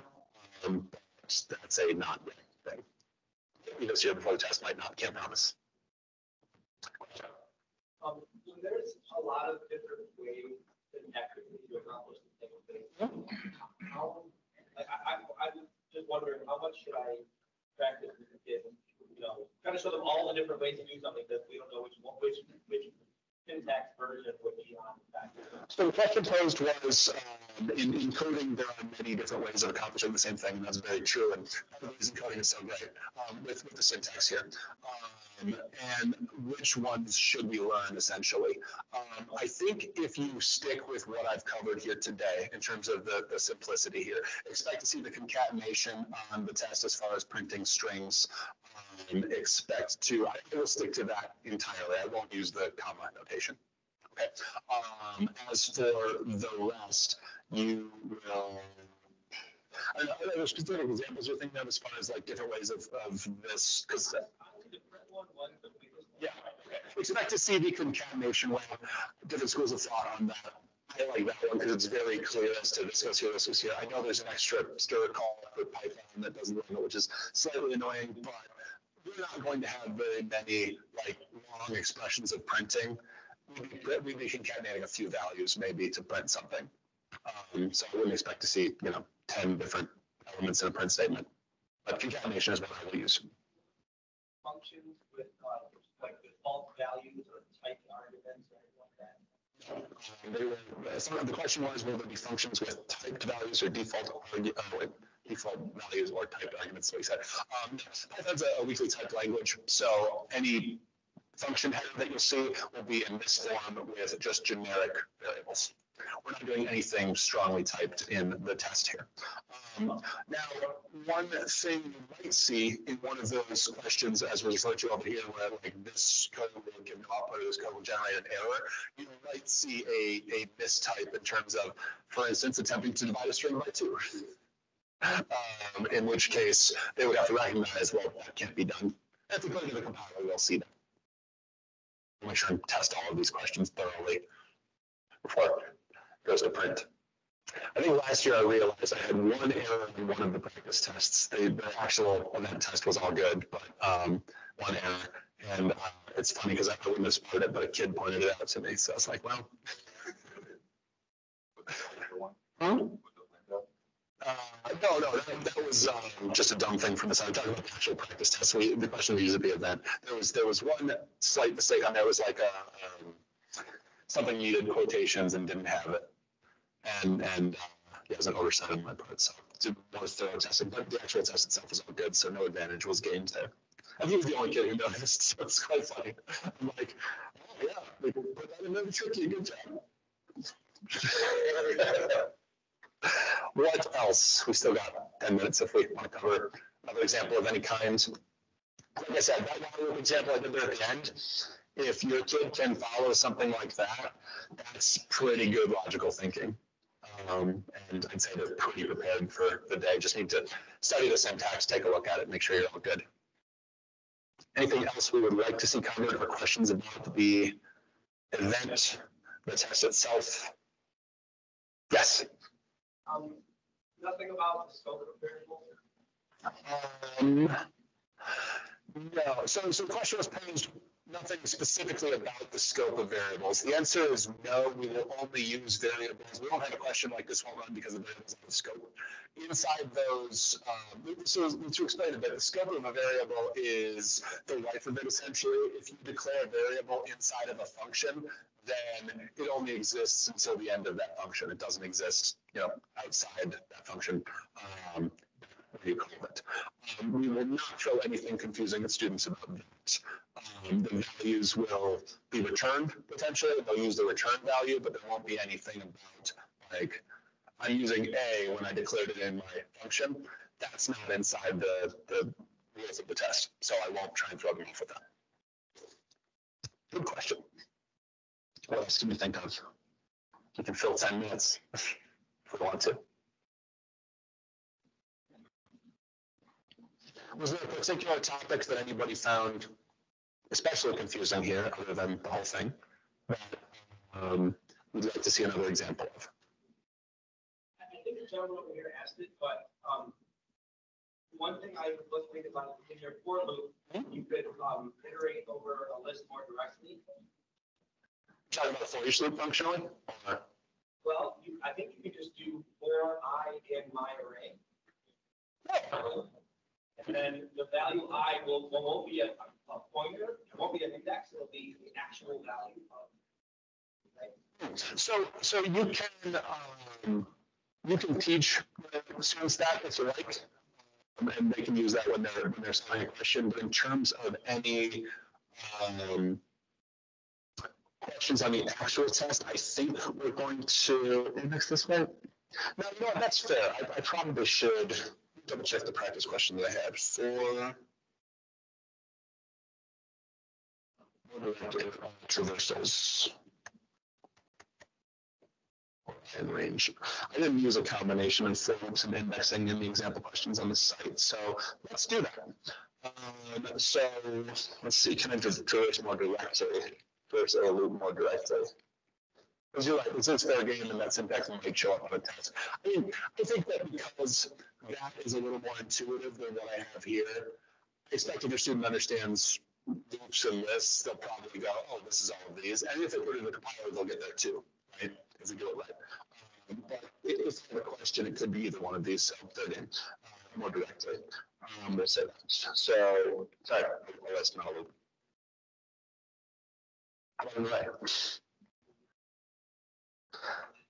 This is the hardest part, so I'm not it. Um, so we'll say uh, animals equals pig, um, sheep.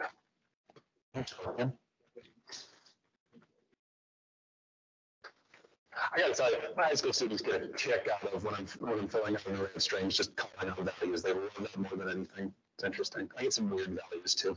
Uh, Little birdie. Uh, there we go. So, um, and you said if I go for uh, a, an animal. Habits, right? Uh, in animals. Um, and they say print. Oh. Thank you. That? What's that? It's up here. No, you're totally right. This is more. You don't need the whole uh, indexing thing to go with the thing about a traversal. That is totally valid. Good call, good catch. Thank you. I think the, the, the thing that could possibly be confusing, it does make sense to think about, but you might expect A to be, you know, one, two, three, four, five, right? But it's not, it's the actual value.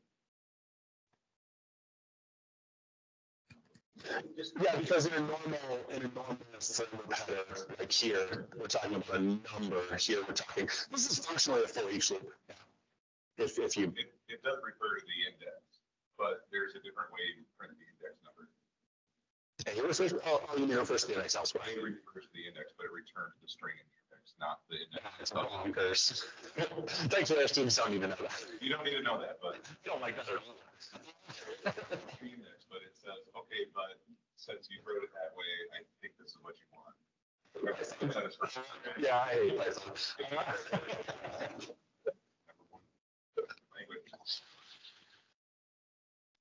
I hate English too. It's the most popular artist, But well, I mean, the way to think about the first thing you wrote is you just created a list in your for loop right there. right?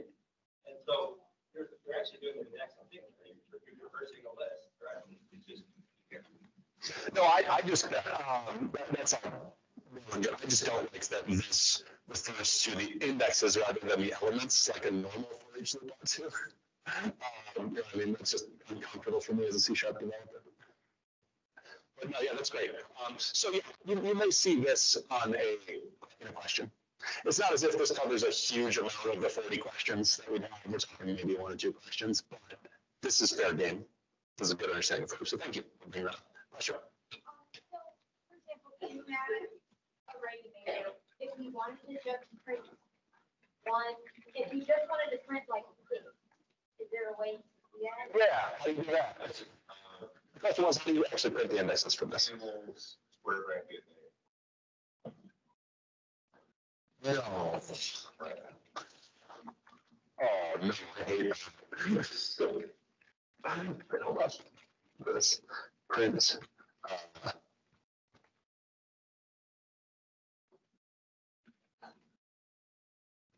you gotta do it outside this because you already have an array, but it wouldn't be in the board.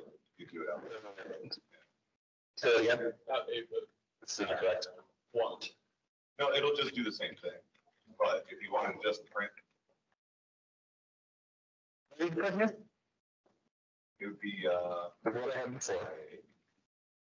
That's my animal. it's just, uh, print animals bracket A. Okay. But That's backwards. Backwards, yeah. 'Cause You're not getting the Bracket number. Animals, uh, and then the bracket one, if we just are trying to print one. Oh, yeah, you could just print bracket one. It wouldn't be A, you're right, it would be one. Animals, Bracket bracket, A, bracket one. one. I think it'll do it as many times. I'm not sure I'm understanding. And just at one. That? The goal was to to get the A. Yeah. Oh, sure, but th- this is gonna print pig six times, yeah? What's gonna happen is gonna print it six times. Six times, because this loop goes six times, it goes to each spot in the array. So I expected, the, the, the question, as I understood it, was how do we print zero, one, two, three, four, five of this loop header? The index values. I thought she was asking how to print it. Is that the question? You print just pig? Yeah. Oh, Well, we wouldn't do that inside the loop, it would just be animals, everyone is there, it'd be this. Outside of the loop, yeah. But if you ran that, I'm pretty sure you're gonna get. Yeah, you, Yeah, Six times, because the the goes six times. Uh, I- As I was understanding, I think mis- miscommunication here was, how did we, you said that the A is actually the indexes, zero, one, two, three, four, five. How do we print that? Yeah, it would, oh, uh, That's, and when you said animals, at- at, like, at, at A or whatever, I'm like, no, no, no, that can't be right. Can't remember the number, can't remember the function. That's okay. Up here, I have it. I would just put I, right? That's why I like this way. Yeah.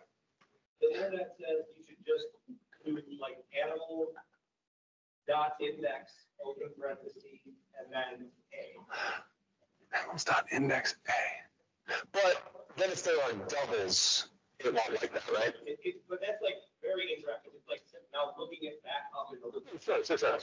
So, so essentially, it goes back to way I originally understood this, was this was essentially a for each loop, which means it's sort of an automated loop that goes to each position. It does the traversal for us without us doing any indexing at all. So there is no direct way to access the index values, right? That's how it is in C sharp anyway. Um, for each loops are great because they're quick. Like this is, this is functionally a for each loop. Um, doesn't say for each, but that's what we're doing here. Um, they're quick and they're easy, and very simple compared to the here. But one of the disadvantages of them is you cannot actually see the index values. The other one is you can't change the values. Is that true here? You can change them, but that goes on like a weird tangent. Because it, it creates a new list in different space because I think they're beautiful. Isn't there something, I, I, I have to look up, but I didn't hear it. it's like eight comma and then. And you can, you can have multiple variables in your traversing part, and I think you can have one of them drag along the. We're leaving the common man behind here. We're talking programming languages. Let's just finish there. I think uh, we're at just about 12 o'clock, so that's a good good cruising point. Some of that stuff was was high level programmer trivia that uh, the experienced folks in the room are schooling me with, which I do appreciate, especially because a lot of my experience is in C sharp. But um, I, hope that this has been a helpful session for you. Um, if you have questions beyond this, we'll make sure that this video is available. We will make sure that this code is available. Again, I'll save this to a flash drive and get this put up on the site along with a link to the video. So you can mess with this. Um, I encourage you to have your students get into onlinepython.com and use W3 Schools or something as a resource and just start getting in there because the best way to learn coding is to type some code and learn it. It's a manipulative, right? The more you manipulate it, the more you're going to know. Question. Learning pseudocode? Uh, resources about learning pseudocode. I think it's just a matter, so, so the format of pseudocode doesn't really matter. The way that I consider pseudocode is say what you want to have it do, right? If you just have that in mind, then the actual format of the pseudocode you write is fine. It's a good question. Pseudocode, again, most important thing. I'll I'll get back and I'll close on that. The most important thing, and what I did here the whole time, is to say what you're going to do in a comment before you do it. And that's true for any language. Um, if you don't organize your thing before you do it, you're gonna have a bad time. Okay. Thank you all for coming. Uh,